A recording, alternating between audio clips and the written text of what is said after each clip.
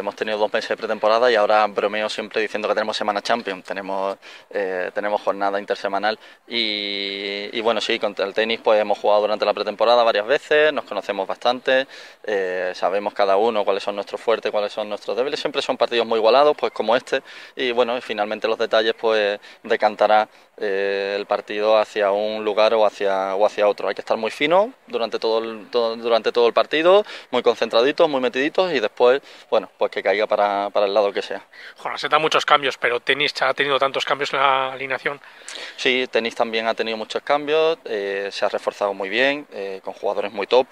Eh, le han llegado tarde, igual que, igual que a nosotros, por lo tanto estamos en, en,